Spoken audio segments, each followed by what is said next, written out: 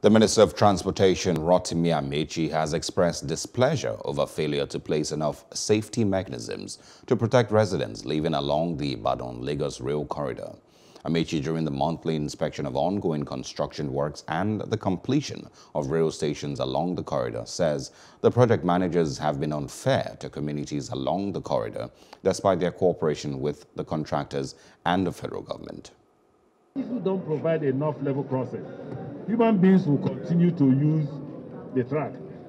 You see, if you kill any human being in the course of this railway and say he was either negligent or careless, you must also prove that the government was not negligent enough to provide enough infrastructure for the human being to be able to cross from point A to point B. There are communities I represent along these routes.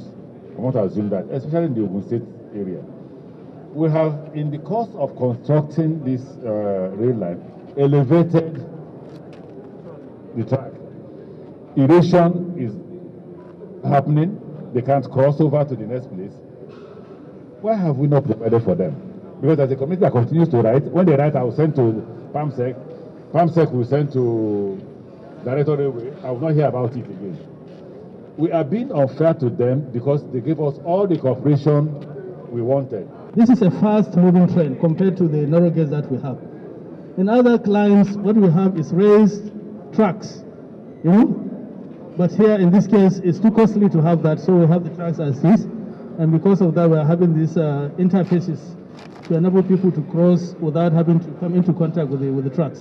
What we have done, uh, the first principle is to achieve a very safe operation corridor for the trains so that the public are safe and the passengers and the operators of the train are safe. So in Lagos, we have portions of uh, overpasses that the project by the federal government will do and those that the state government will do. And similarly, we have made provision and government has approved for the ministry to provide pedestrian crossing.